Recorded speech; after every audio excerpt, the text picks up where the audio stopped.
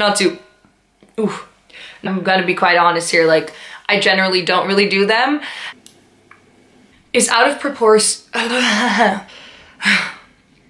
Hello, beautiful people of the internet. Welcome back to my channel, or if you're new here, hello, I'm Emma. It is great to meet you. I would love it if you would subscribe. Today is gonna be kind of a Q&A. I did two videos on studying at Leiden University. One was also according because of a question, kind of how to get into the school, and the other one was just kind of like what it's like to study at Leiden University because I think, yeah, you guys just kind of want to know. I think that probably comes from Leiden University being very unclear in on their website and not giving very much information about what it's like to study here, which can be tough if you're an international and you never get to visit the campus at all. So I'm here to answer all your questions. If you hear something rumbling in the background, by the way, it's probably my dish dishwasher. So just try to ignore that. All right, so the first question is what does a first year timetable look like? Now I can't really show you one because I'm a second year and I tried to look for my first year timetable, but it's not really there anymore and I didn't take pictures of them obviously, but I can kind of explain to you what it will look like because I do, of course, kind of remember what it was like.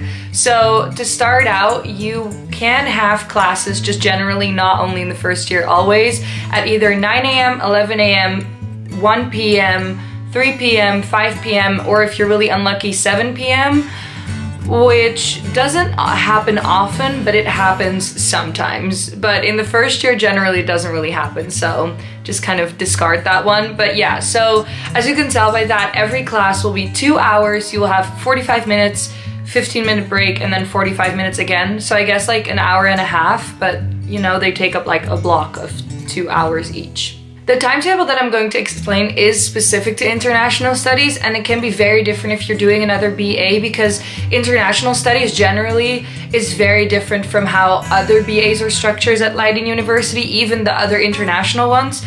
But yeah, it'll it'll be really different if you're not going to do international studies. So in my first semester, or basically in everyone's first semester, and Actually, generally in every semester, you'll have five classes. So I remember having two 9 a.m.s in my first semester of my first year, but there were also people that had more than that. No one had less though, because basically my 9 a.m.s were lectures that you have with your whole year, so everyone has to attend to them. So everyone has the same 9 a.m.s on those same days. And then what happens is the rest will be kind of besides the general lectures that you have, which will be, if they structure it the same way, it'll be four. And then besides those, you'll have five tutorials. So five classes and for four classes, you'll have lectures. And for all five, you'll have tutorials, if that makes any sense. So lectures will be every single week. Tutorials will be every other week throughout the whole first year. This will change in your second and your third year, but in your first year, you'll have tutorials every other week. Like I said, these lectures will be general. They will be with everyone from this from the year, so everyone will have those lectures at the same time. Then for the tutorials, the groups will be way smaller. It's generally like 15 people, and everyone will have those tutorials at different times with different tutors. The first semester, you're you'll get your schedule made by the university so you don't really have any choice in when you have your classes. You can be really lucky. I remember that people didn't have any class on Friday in the first semester in the first year, which now I have to because I can make my own schedule. And so I always try to aim for Fridays off. And this semester I also have some Thursdays off, but that's because the further you get along, the less classes you'll have. Um, but I remember having a 11 a.m. every Friday and every other Friday it would be a 9 a.m. which would kind of be annoying because there would be any parties on Thursday I would have to sit like I would have to go to the 9 a.m. and like all my friends would have Fridays off or they would just start at 1 which is kind of like I mean yeah that's I mean that just comes with the territory, but it is kind of annoying when your friends have Fridays off and you don't. So that's why I always try to keep my Fridays off. But yeah, that's besides the point. So your tutor tutorials will be at different times depending on which group you're in and these can be at any given moment throughout the week and like I said, uh, every other week. Another thing that might be interesting to know is that a semester consists of 12 weeks of classes. This is taking out study week before finals and finals and midterms week. So with those, you'll have 15 weeks of a semester generally, I think. Think they might run a little longer, a little shorter, but that's about the time span that a semester will be, which is quite short. Um, and that makes the study quite high pressure because you have to do a lot of things in very little time. Yeah.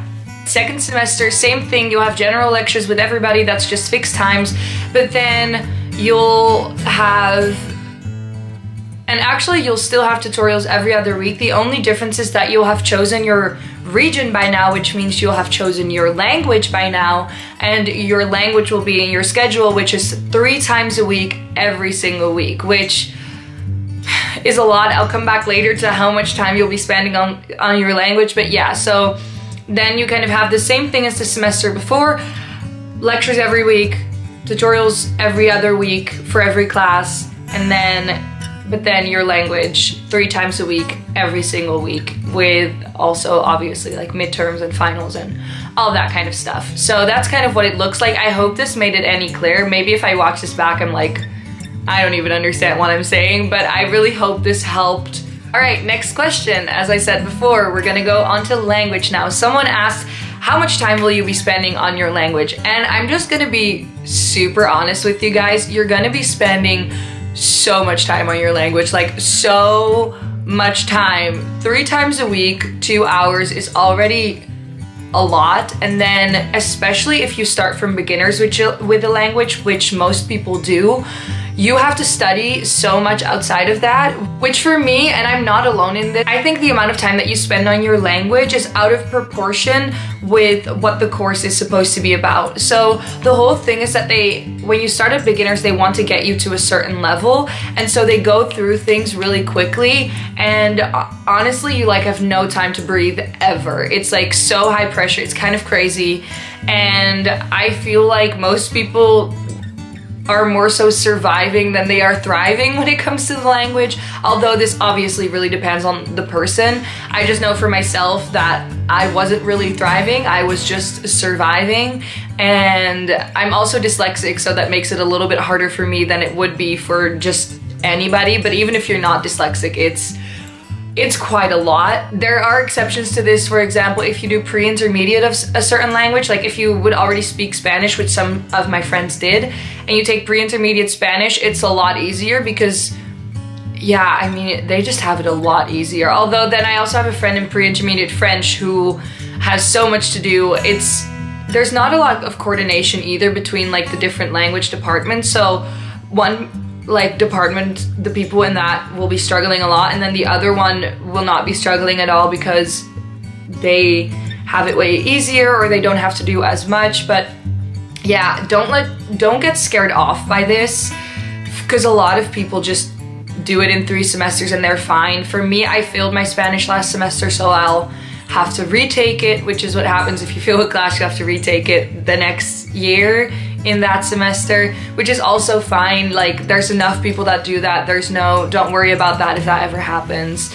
But yeah, um, how much time do you spend on your language? I'd say too much, but that just depends on whether you like learning languages or not and if you like learning them in a classroom setting because that's also obviously different from if you like learning them just kind of how I learned English is through like watching a lot of shows and reading books and listening to music which is very in a very different way. Next question is how does the area choosing process go? This again is specific to international studies. If you're going to study this, you probably know that you will have to specialize in a certain area. My area of specialty is North America, and with your area, you have to choose a language. I could choose between French and Spanish, and I'm doing Spanish because I am terrible at French. I took it in high school, awful, just hor horrible. I'm so bad at it. I wish I could speak it because a ton of my friends are French or speak French, and I would love to just kind of like jump in on the conversation when they're saying things, but unfortunately for now that's not not in my near future. So basically you choose your area in the first semester of the first year midway through what happens is like i said you come here you get your schedule from the university and from there on out every semester you have to make your schedule yourself i'm not to get into explaining that because honestly like I thought it was so confusing at first, but then when you do it, it, it's actually quite easy and it's just easier to figure out once you're here. So just, you know, you know that, but just don't worry about that. That'll come once you come here. But you have to make your own schedule and there's like one certain time that you kind of sign up for your classes. And when you do that, you just kind of sign up for the classes of the area that you have to take that semester. So for me, semester two was History of North America. That was our area class that we had to do that semester. And I just signed up for History of North America. And then I signed up for Spanish. And that's kind of how you choose your area. So it's not like an official paper you have to fill out.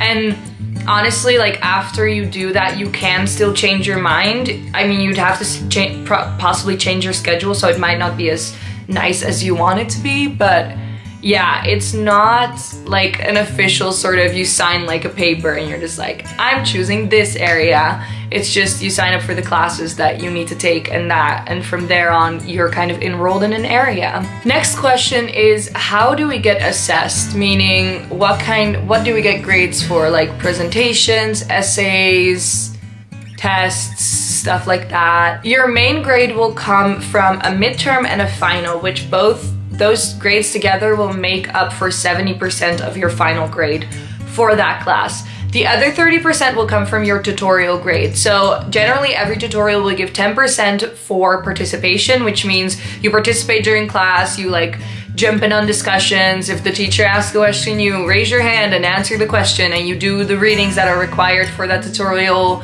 yada yada yada, all that kind of stuff. And then the other 20% generally comes from an essay and or a presentation which really depends on the class. Usually there's an essay involved somewhere. They love just giving us a ton of essays to write, um, which is a thing that you do. I, I mean, I like it. I like writing.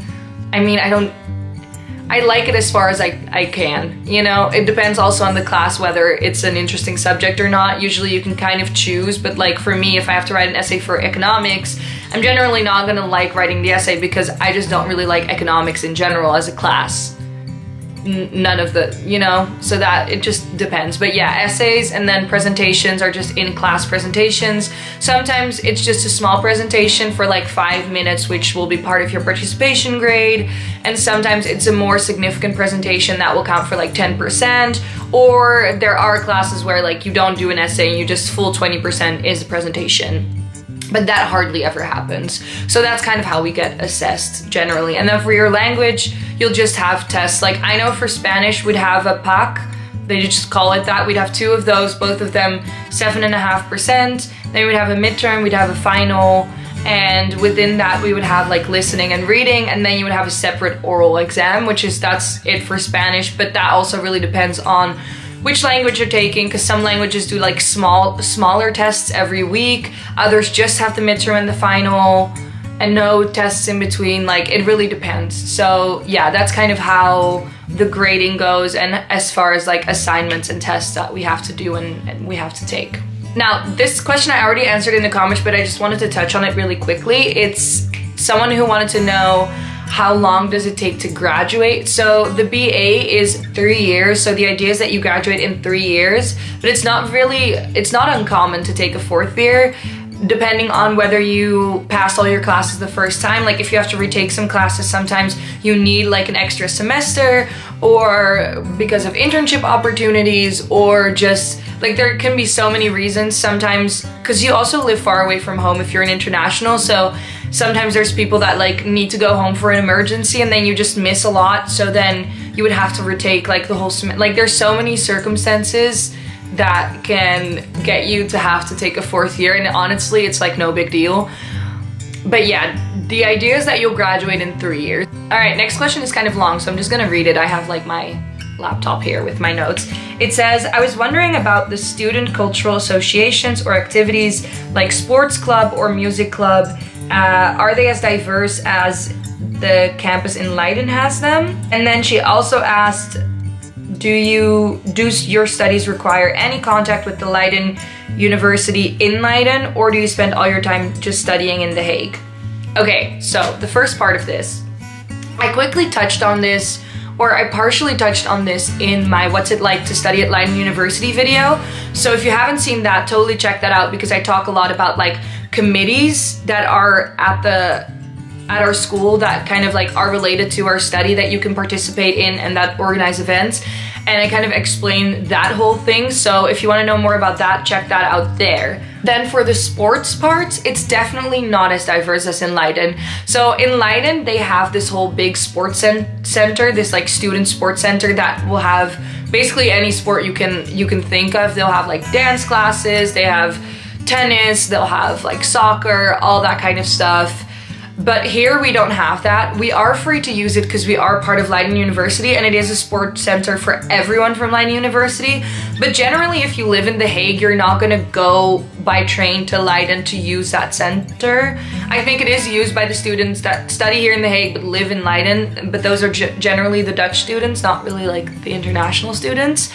So what people do here is they either like sign up for a gym, like a lot of people have a gym membership. I have a gym membership, but I'm quitting that because there's also people that sign up for sports clubs that are unrelated to university. So I take dance classes. I recently started that, which is like totally unrelated to um, to the university. I just kind of found that on my own, which is fun. It has been a lot more fun than the gym. I, the gym is not really my thing, but you know, everyone, whatever suits you. There's people that just go running outside, obviously. Like sports are kind of found if you want to do actual sports, they're found outside and unrelated to our campus here in The Hague. Although they are planning on building like a similar sports center here as they have in Leiden, but I mean, I honestly don't know how long that's gonna take. The campus that we are on now took like four years for them to, them to build, so I don't I don't think I'll see that sports center, but maybe if you guys come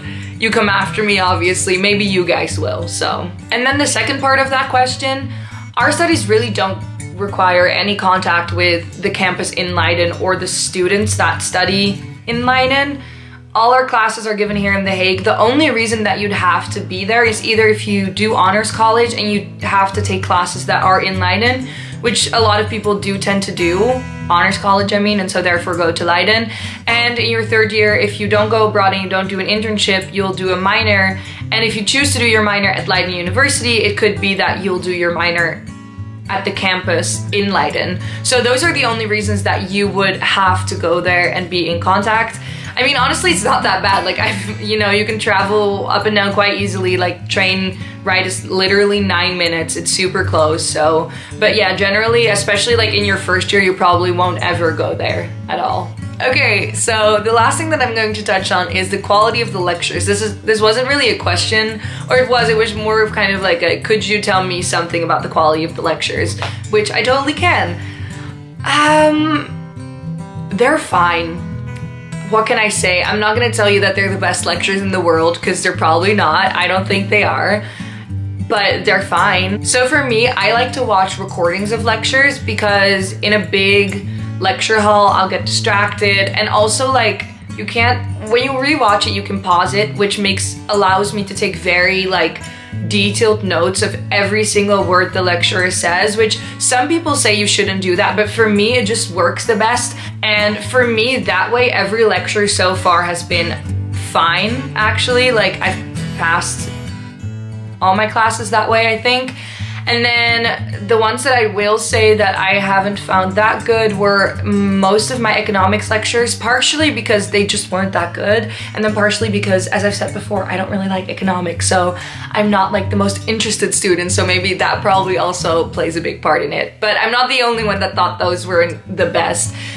My favorite lectures that I have, I will say my best lecture so far has been my North American history and I think everyone in that North American history class will agree that that lecturer was just amazing. He was so good. Like I am obsessed with him. He was like my favorite lecturer ever and we had a great tutor with it who's also my tutor for my elective, which is really great for me because I love them both and I love how they like give the class and yeah, that was like an amazing lecture and I think it also really translates into grades. I think no one failed that class or I'm not gonna say no one because that's quite a stretch. There's always people that like tend like make it work. They'll fill the class, even if the lecture is amazing. There are actually like quite a few good lectures and then there's quite a few terrible ones. Honestly, like it really depends on how you like your lecture structured. The ones that I love are because the lecturer structure the lectures in a way that make me understand and make me make it easy for me to take notes, make it easy for me to go back and like rewatch them, like all those kinds of things. And if not, like then I won't find them good, but that really depends. So you can either be really lucky and only have lectures that like really suit you, or you can be really unlucky and don't have any lectures that suit you. Generally, you'll be somewhere in the middle. You'll have some that you'll love, some that you'll hate, some that are kind of eh, mm, not too bad. So yeah, quality of the lectures, like on average, fine. And then some are really good and some are the ones that I tend to not go to because they're just bad, you know? So yeah, that's all I can say on that. I hope this helped at all for any of you out there, any prospect students to Leiden University, specifically international studies, or people who go to who will go to campus The Hague. I also someone else asked me if there were any other YouTubers at Leiden University that they could check out. Now I don't know any, but if you guys know some, leave them in the comments down below because I mean, obviously I'm here to support other YouTubers and I think it would be helpful for you guys if you get to see a different perspective from the school because I'm in The Hague and maybe there's someone that can shows the perspective of what it's like in Leiden, I don't know. So if you ha happen to know one, I don't think there are any, but if there are, let them know, like help each other out. You'll possibly be classmates next year. So, you know, you can start making friends here and if you have any other questions for me, as always, leave them in the comments down below. I would love to help you guys further. I can make another video if it is required and you can also DM me on Instagram. I will always respond as soon as I see the question and I'll try to help you as much as I can.